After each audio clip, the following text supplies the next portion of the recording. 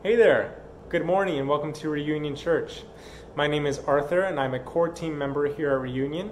We're so excited that you decided to join us this morning for our online service as we continue to meet virtually. Uh, before we go into scripture reading, I do have a couple of announcements for you.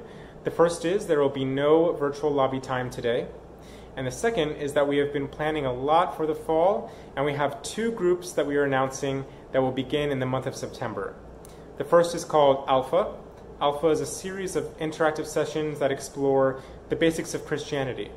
So we're going to be tackling life's biggest questions from a Christian perspective, and after that, we'll have a discussion on the topic without any judgment or fear.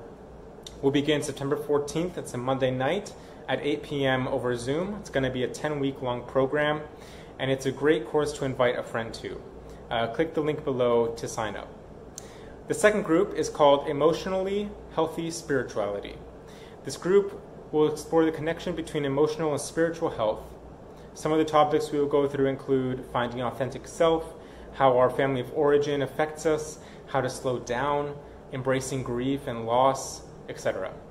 And this group will meet on Wednesday nights starting September 16th at 8 p.m. over Zoom, and it'll last eight weeks. Now for the scripture reading. It comes from Matthew 5 1 through 9. Read along with me. The version is English Standard Version. Seeing the crowds, he went up on the mountain, and when he sat down, his disciples came to him. And he opened his mouth and taught them, saying, Blessed are the poor in spirit for theirs is the kingdom of heaven. Blessed are those who mourn, for they shall be comforted. Blessed are the meek, for they shall inherit the earth. Blessed are those who hunger and thirst for righteousness, for they shall be satisfied. Blessed are the merciful, for they shall receive mercy. Blessed are the pure in heart, for they shall see God. Blessed are the peacemakers, for they shall be called sons of God. This is the word of the Lord.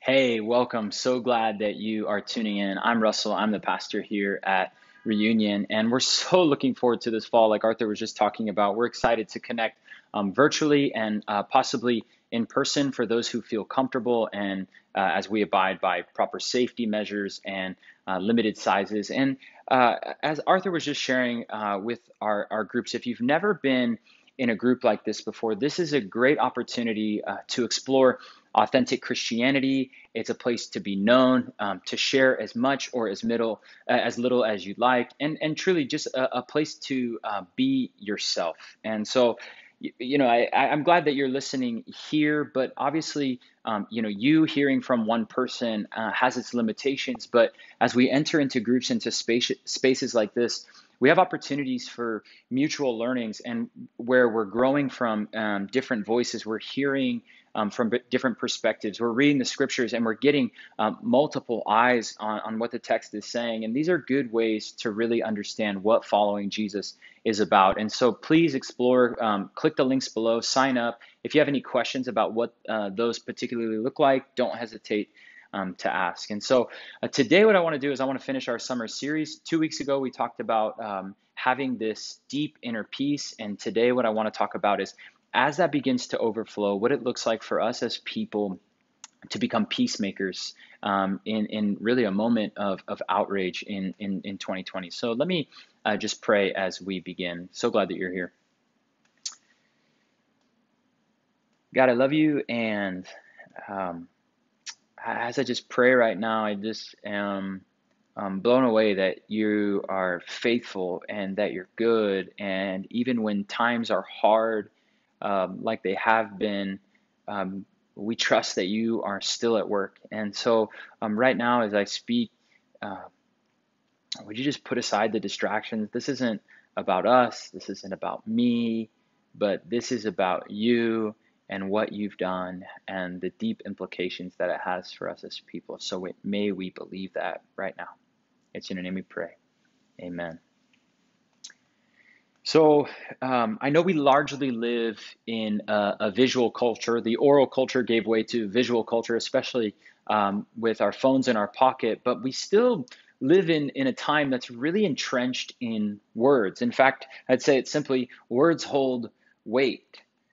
Uh, in 280 characters or less, um, not, not by me, but um, they can drive the, the stock market up or down. 280 words or less can, can start a war in our time. 280 characters or less can um, expose a past misconduct or can kill a business. Uh, 280 characters or less can create awareness or can bring hope. They can prove a point or shame another person. Uh, 280 characters or less, uh, we know this all too well, can lose a friend or can break a heart. And so words hold weight.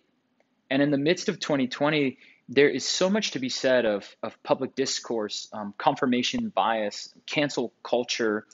And I think what this these ideas and these words actually begin to reveal to me is that we're not all that great at relational conflict. And so today, what I want to do is I want to sort of um, get into the nitty gritty of peacemaking, into really the emotional and the personal side of peacemaking.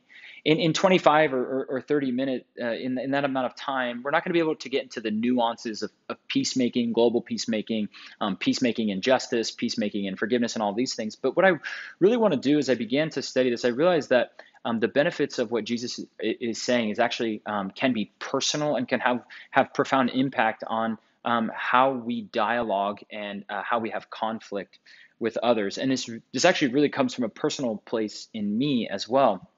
Recently, I was sitting outside of a cafe reading, and I started texting a close friend of mine. And um, really quickly, and sort of out of nowhere, the debate um, turned, uh, the conversation turned into a debate um, about modern politics, uh, race relations, uh, fiscal ideologies. And I grew up with this with this friends, and I knew over the last couple years that we had been diverging on specific topics. But as we uh, continued to text, I realized that um, this gap had really widened. And I knew I knew that this was the case because I actually sitting there and texting my friend, I began to react bodily.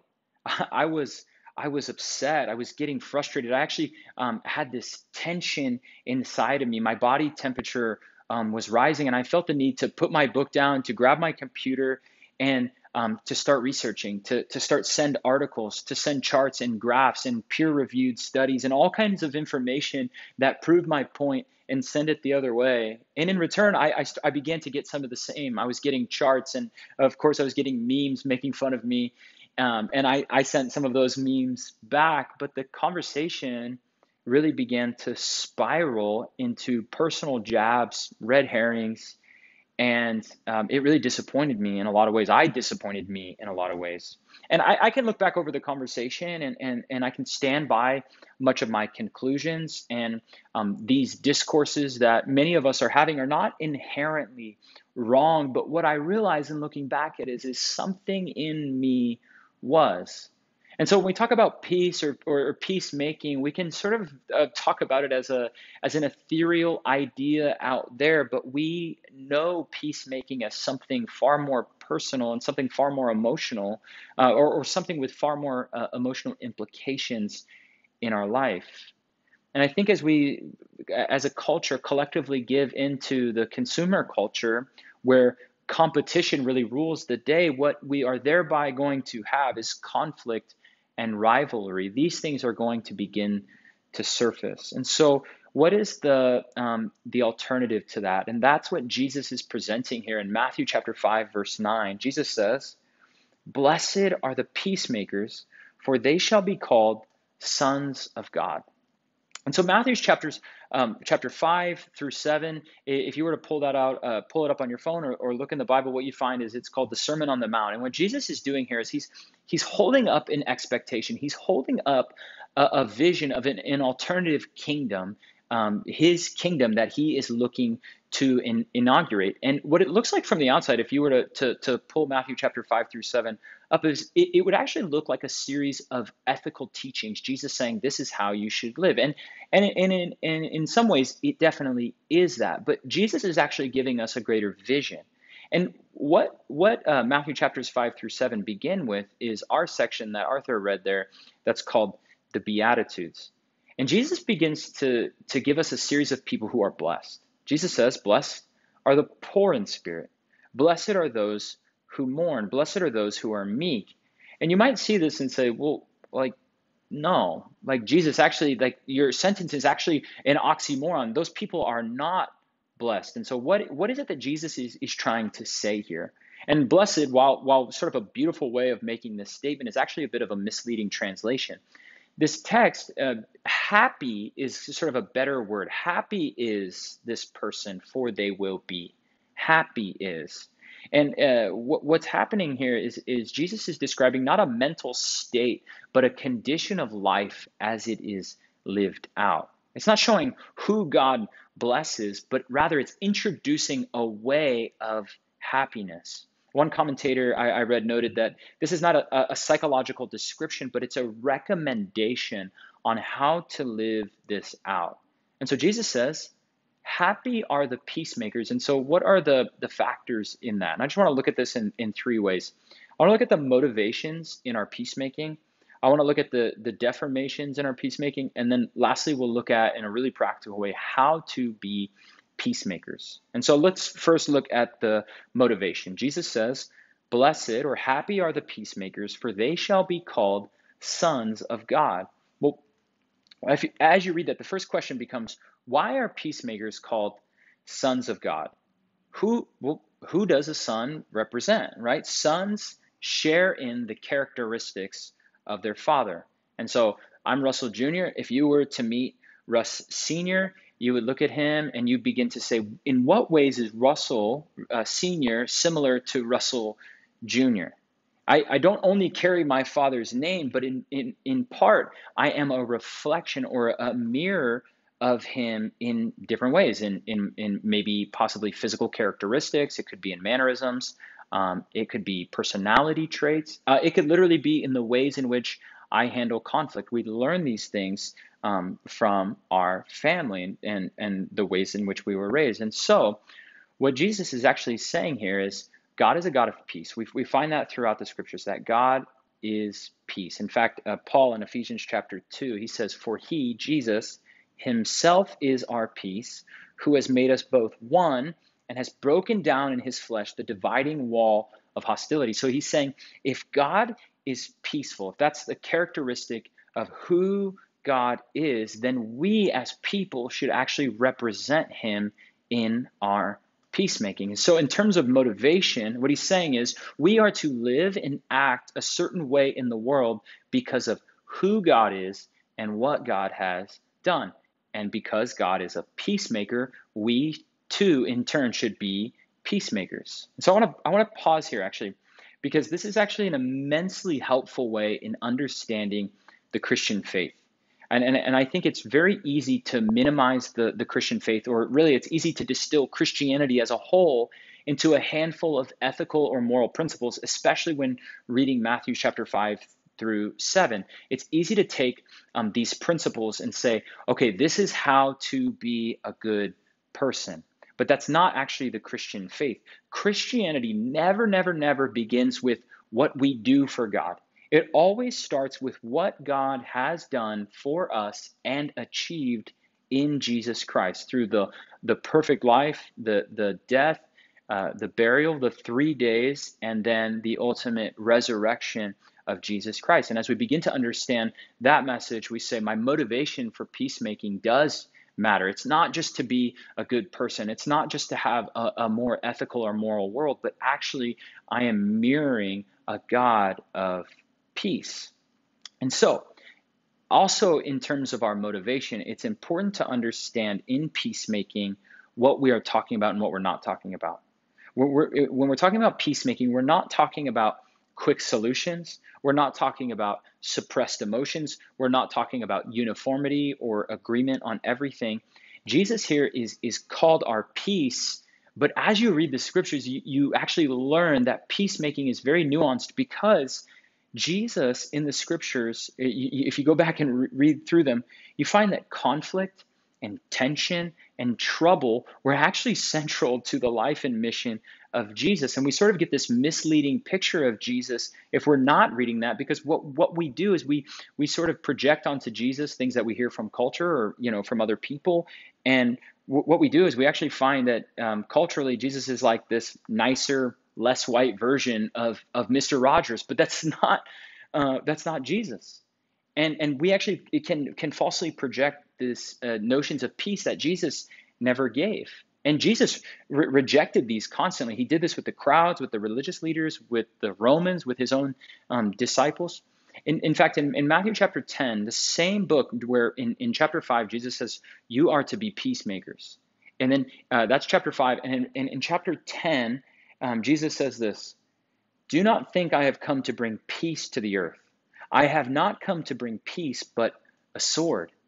And so Jesus is like this, this polarizing figure. He's creating this tension. He's willing to get uncomfortable uh, for, for the truth, and he's not going to settle for false notions of what peace is. And I think this is really um, helpful for, for us today because we live in this tension, right? We live in this reality of knowing that you know tension and conflict are our lived experiences and so jesus is coming to disrupt false notions of peace and give us a reality of what that looks like. Uh, for, for us, unresolved conflicts are, are some of the greatest tensions of our lives today. Most of us hate conflict. We don't know what to do with conflict. And instead of um, risking any more broken relationships, we actually um, prefer to ignore difficult issues and we settle for sort of a false peace where where tension is ignored it's like swept under a rug like like dust like how i clean and and what happens behind that is gossip and bitterness and, and jealousy actually end up lingering in the background. And so if this is the motivation for our peacemaking, where is it that where is it that we go wrong or what are the, the deformations in this? And I just want to talk about two things here. The first being is that we mistake peacemaking and peacekeeping. And then the second one is that we, we actually um, have an inability to see outside of ourselves. So, this first one is that we mistake peacemaking and peacekeeping. So, I am um, a child of divorced parents, and any kid of divorced parents can can tell you that um, by nature of the situations, like we got PhDs in peacekeeping. Um, for a lot of us, we had to function as uh, go between between our parents, and so we feared a lot of conflict. Uh, oftentimes, especially if we had siblings, we went along with whatever was easiest as to not bring worry or anxiety to our parents. And so, growing up in my family, we didn't know how to be um, peacemakers or to handle conflict because we didn't do conflict. We we did peacekeeping or or or, or we did blow up fights like zero or a hundred. And in our families, if we don't or didn't do conflict, then it's likely that we are unaware of what we are actually experiencing personally when we face conflict. Oftentimes, when we enter into conflict, um, we want it to be over as quickly as possible because we want people to like us. We, we want their validation. And maybe I should just say this um, for, for myself here is that oftentimes when I enter a conflict, I want it to be over as quickly as possible because I want to be perceived as easygoing, enjoyable, fun to be around. And and as I as I think about this and as I admit these things, I have to realize also that this is not what Jesus had in mind when it came to, to comes to peacemaking. So what what's like what's the difference between peacekeeping and peacemaking. What if peacekeepers are like thermometers and peacemakers are like thermostats? What do I mean by that? Peacekeepers, like thermometers, they understand the spiritual and the emotional temperature of a room, but like a thermometer, a peacekeeper does not have the ability to change the temperature or the atmosphere of a room. So they enter a room, a peacekeeper enters a room and comes under what is already there. But a peacemaker, on the other hand, is like a thermostat. They initiate the needed temperature uh, and change that the room needs. And they do it with wisdom intact, and that's why there can be true peace. And so, a peacekeeper, they desire to maintain peace by avoiding conflict.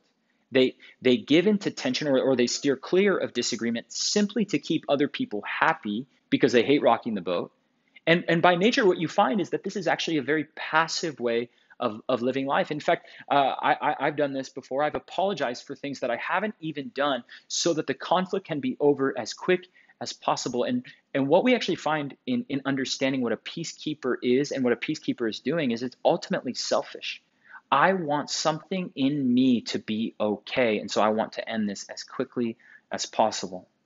And I, I know some of, I know we're virtual right now, but some of us need to uh, just feel the pain of what I just said. We need to just acknowledge, wow, I I have some of these these tendencies, and um, I I, I want to hear how to how to do this right. And this is where a peacemaker is different. This is a person who's willing to resolve the not only the outer conflict but the inner conflict as well to do the deep work of challenging themselves and others and pushing into conflict and tension um, to, to actually resolve it in order to establish a true peace. And so peacemakers are actually really proactive people willing to push in.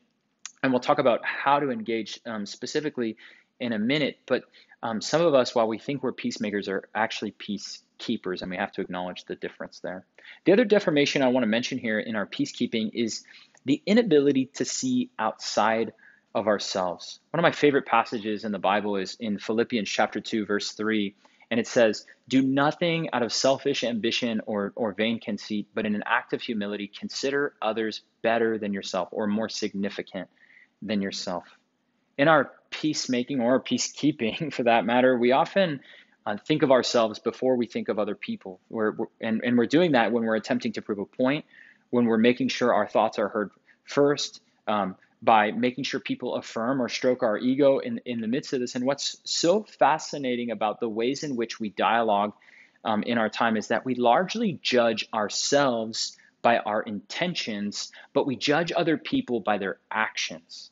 And one of the reasons we, we really don't do peacemaking is, is that we don't see the wrongdoing in ourselves, and we also don't allow grace to operate in other people's lives. We don't give them the benefit of the doubt when we're trying to prove our point. I love what Miroslav Volf um, says. He's a theologian. He says, Forgiveness flounders because I exclude the enemy from the community of humans, even as I exclude myself from the community of sinners. Uh, if you plug the word peacemaker in there, and, and I'm going to read this kind of slowly just to take it in. What if our peacemaking effort, efforts flounder because we exclude the enemy from the community of humans as we exclude ourselves from the community of sinners. And so often in conflict, what we do is we actually demonize other people, those who disagree with us. We don't allow grace to operate in their life, and by product, um, we never actually sought out real peace. But peacemakers consider other people before themselves. I love how Ronald Rolheiser puts it. He says, all of our actions for peace must be rooted in the power of love and the power of truth and must be done for the purpose of making that power known and not for making ourselves known. Our motivation must always be to, to open people to the truth and not to show ourselves as right and them wrong. Our best actions are those which admit our complicity and are marked by a spirit of genuine repentance and humility. Our worst actions are those that seek to demonstrate our own righteousness our own purity and our own moral distance from the violence we protest. And so it's good to push into the conflict, but a, a deformation along the way is how we are actually viewing other people. And so this is a perfect segue into this last part, which is how do we do this then? How do we become peacemakers? And I just want to put forth um, three things. The first is this: is that we need to learn to listen like a peacemaker in James chapter 3, James um, famously is speaking about um, the tongue and, and what it does. He says this in, in verse 4. He says, Look at the ships also. Though they are so large and are driven by strong winds, they are guided by a very small rudder wherever the will of the pilot directs. So also the tongue is a small member, yet it boasts of great things. How great a forest is set ablaze by such a small fire, and the tongue is a fire a world of unrighteousness. The tongue is set among our members, staining the whole body, setting on fire the entire course of life, and set on fire by hell. like, whoa, that, that is a lot, right? But like I said in the beginning, James is saying words hold weight.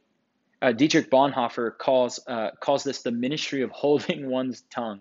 He wrote, Often we combat our evil thoughts most effectively if we absolutely refuse to allow them to be expressed in words. The tongue is a fire.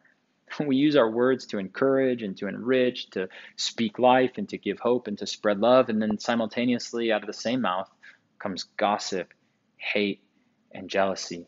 And so, simple challenge if, if we want to become peacemakers, we have to grow in the area of listening. Another way to grow in peacemaking, especially right now, I think is that we need to social media like a peacemaker. And here I'm not I'm not telling you how to uh, use social media, but I'm saying that we need to decide on our intentions with the usage of social media, define how we'll use it, and then move forward from there and stick and stick with it. In that uh, same James passage, James chapter three, in verse 17, he really gives us an amazing litmus test for how we engage on social media. He says, "But the wisdom from above is pure, then peaceable, gentle, open to reason, full of mercy and good fruits." impartial, and sincere. And heading into the, the fall election season, the coronavirus, you know, we're at our homes, um, you know, we're, we're on our phones more than ever. I think we really need an intentional um, social media strategy. Define the ways that in which we're going to use it. And the litmus test that I'm talking about is just asking this question. Ask, is my social media engagement pure? Is it peaceable? Is my social media engagement gentle? Is it open to reason? Is it full of mercy? Is it full of good good fruit? Is it impartial? Is it sincere? And so, like I said, I don't know ways in which you need to engage with social media, but but choosing and being intentional about it, I think, is key. I don't know if you've heard of the um, 90 nine and one rule. It's that 1% of users on social media are creators. They're driving the content. Um, they're, they're the ones actively engaged, pushing out contents, um, threads, and activity. It's actually generally around 1%. Then uh, the 9% are editors. They're sometimes modifying content, they're sometimes contributing to the threads um, but they're rarely creating content from scratch. And then, um, then the other 90%, um, some places call them the audiences. Uh, we'll call them the lurkers. I, have been one of those before. Um, but these are the people that tend to read and observe and, and sort of lurk and they don't actively can contribute. And my challenge is, is um, to engage or, or to delete. And the challenge to myself is to to actually engage more in certain platforms and then get off or, or delete others. But that's how um, we can social media like a peacemaker. And then here's this last one, and this is like really nuts and bolts, dialogue based, um, person to person, but um, clean fighting. Fight like a peacemaker. In, uh, in emotionally healthy relationships, Pete and Gary, Geri Scazzero, uh, who are here in New York City, um, from New Life Fellowship and um, some of the content we're actually going to be going through in that Wednesday night group um, starting in, in September, they put forth a way of handling conflict that pursues forgiveness and reconciliation and, and this true peace. And it is not passive in any way. And I just kind of want to walk through this framework that they put forth in what's called clean fighting. And I, I actually put this in my phone as a, a, a conflict um, management tool and something I can go back to a framework. And so there's uh, eight steps that they list out. I'm just going to talk about six of them here. Um, but the step number one is to ask permission to do a clean fight with someone. And I know that sounds a little bit foreign, but I, I'm, I'm willing to, to push in to try this. And so step one, ask permission. Step two, state the problem. And so start a sentence with this. I notice. And so you're starting uh, a conflict um, by describing a concrete behavior. And this helps in not um, uh, provoking a defensive response. And so you're actually saying a concrete behavior.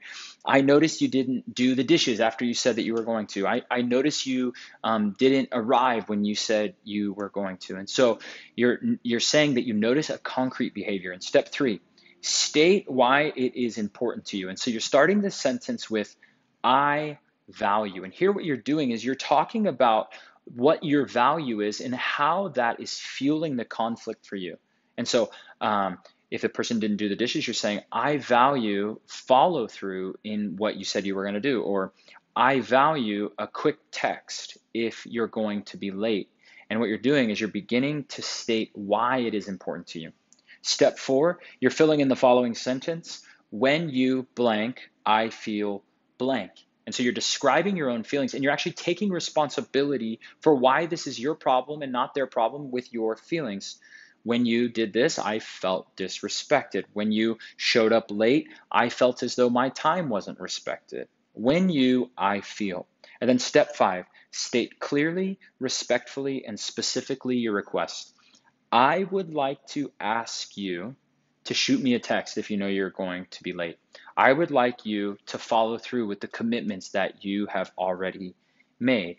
And then there's a few more steps, but step six, um, we'll just call it step six find a mutually agreeable way to move forward. Allow the person to respond, listen to, um, you know, possibly why that didn't happen, and then find a way to move forward. And so to summarize, um, ask ask permission to do a clean fight, and then state, I noticed, I value. When you blank, I feel blank. And then I would like to ask you, and hopefully these are just some practical ways for us um, to grow in our dialogue and our conversation skills um, with others. And so let me pray for you. I hope this was helpful. I, I hope this is um, sparking um, conversation in your house and your, you know, in your brain. You're stewing over some of these ideas, and you want to grow in this idea of peacemaking. So let's pray as we wrap up. God, I love you, and uh, truly, our motivation for being peacemakers comes from the fact that God, you have reconciled us um, to yourself through your Son, and we have peace with you through your Son, and because of that um, we can be at peace internally, but we can also um, go out and be peacemakers. And so I pray that this, um, these ideas, these things that the scriptures um, would amount to real change for us, real growth and development um, in the ways that uh, we interact with other people, whether that be in person, online, and um, God, may that actually mean deep reconciliation with our family, with our parents, uh, with our friends and uh, may it make all the difference that we do that. It's in your name we pray. Amen. Thank you so much for joining us. Please don't forget to sign up for a fall group and keep up to date with us by following our Instagram and subscribing to our YouTube channel. Now, if you please bow your heads with me as we join into benediction. God, we are longing for a silent night, for a reprieve from noise and anxiety and hurry for a moment of space and time, empty yet full. Give us the gift of quiet. We look in your direction, God, the place from which peace comes, for you are its author and the home of its prince, and in your peace we dwell. Amen.